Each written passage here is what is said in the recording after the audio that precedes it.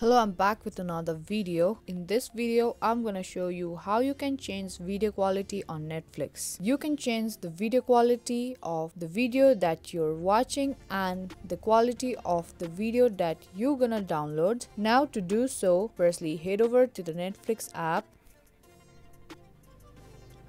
there is no separate settings or option in the video that you're watching so you have to do from your profile settings. So head over to the profile icon at the top right. After that tap on app settings option.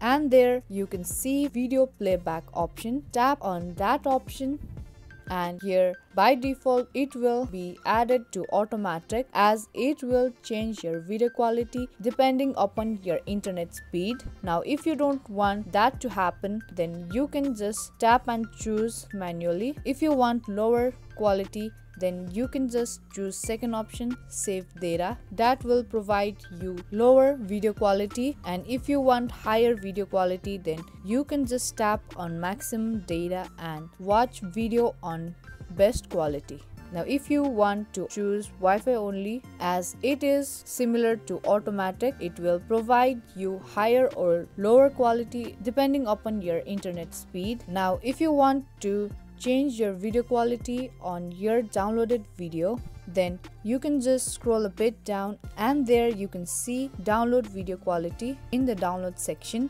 Now by default it will add it to standard but if you want high quality of video then you can just tap on second option. It will allow you to download higher quality video on netflix and that's how you can change video quality on Netflix. I hope this video was useful. If it was, then don't forget to like and share this video and also subscribe to our channel. I will be back with more videos like this. Keep watching.